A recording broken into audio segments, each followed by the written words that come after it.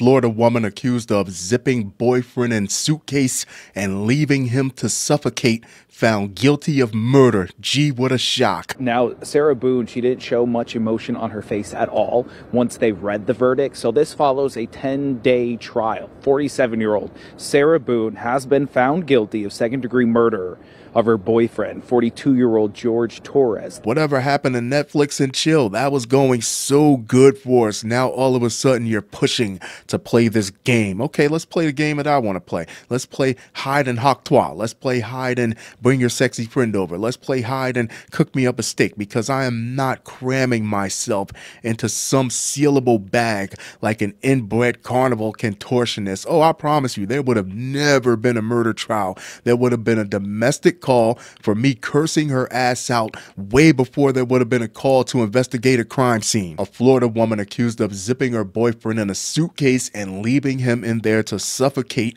was found guilty of murder on Friday. That's a horrible way to go out. Four years after what she had initially described to authorities as a case of drunken hide and seek gone wrong. Doesn't that defeat the purpose of hide and seek if you know where the person is hiding, if you're actually helping the person hide? Sarah Boone Boone was convicted by an Orange County jury of second degree murder in the February 2020 death of George Torres Jr., court records show. Torres was found dead in their Winter Park apartment after Boone said she zipped him into a suitcase during a game of hide and seek, and that in itself sounds sketchy as hell. The Orange County Sheriff's Office said in a report at the time, Boone said she thought it was funny, it was not funny, and that the pair had allegedly been drinking alcohol. Two videos were introduced. Uh, uh, from her um, where he was begging for his life and a, a horrific um, turn of events. And uh, she didn't try to let him out. She didn't do anything to help him. Uh, she just went upstairs and went to sleep. I mean, handcuffs are a little bit different because at least you can breathe, but it still comes down to a trust factor where you really don't know if someone is rocking with you like that until you're in that position. And apparently, she wasn't really rocking with him like that. Hey, babe, you gonna let me out or what? I gotta go to the bathroom, babe. Ollie, Ollie, oxen free, babe.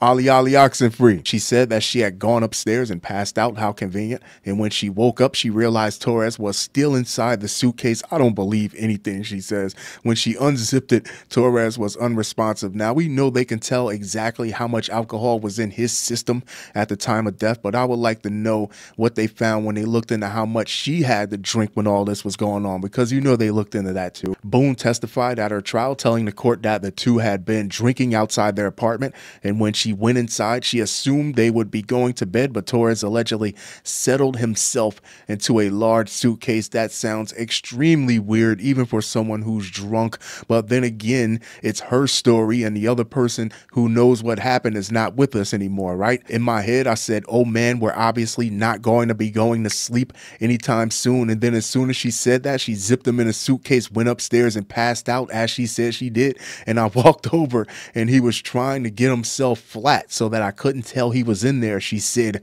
Boone told the court, I just kind of zipped him up. We thought it was funny. There was nothing funny. And we're joking about how he was small enough to to fit inside the suitcase. Me personally, I don't believe there was ever a game of hide and seek. I didn't believe it then. I still don't believe it now. I believe that she sat there and watched him get drunk enough, just biding her time for him to become more manageable until she could lead him into that suitcase and zip it up. She said she moved it around a little bit while Torres was still inside the suitcase. We were joking and laughing about it. She said, Boone said at one point, the phrase at one point means he's already been in there for way too long. What do you mean? He's still in the suitcase for you to be able to say at one point the suitcase fell over and she decided that she would talk to him about his alleged abusive behavior. And that's why I don't believe there were ever any games involved because now you want to talk about our relationship problems once I'm subdued. She also pulled out her cell phone and began videotaping. She told the court in the video clips Boone allegedly mocked Torres as he begged for help. NBC affiliate WESH of Daytona reported she heard on the clips telling him that is for everything you've done to me. When Torres said he couldn't breathe, Boone said, That's on you. Oh, that's what I feel like when you choke on me. The news station reported, God damn, how is this not first degree murder? Boone testified that Torres's tone changed while he was in the suitcase and the two began arguing. She claimed Torres died after he put himself in a suitcase while playing a game of hide and seek. The jury was shown a video recorded by Sarah where Torres appears to be in the suitcase telling her he can't breathe. The jury was also shown pictures of injuries Boone says she suffered as part of ongoing spousal abuse. There's no way you can tell me that she didn't set this up. She made sure he got a few in him so he'll be a little bit more manageable, got him into a terrible situation, got him into a jam basically, and then sprung this BS argument on him out of nowhere. There was never any game. Boone testified that Torres's tone changed while he was in the suitcase and the two began arguing. Honestly, my tone would have changed too. Get me the hell out of here. The things that he was saying very much frightened me, cursing at me and threatening me. I would have been saying some things too. She told the court it got very heated very quickly and tell me that's why you zip them in a suitcase so you can get it all off your chest and not have to worry about any repercussions.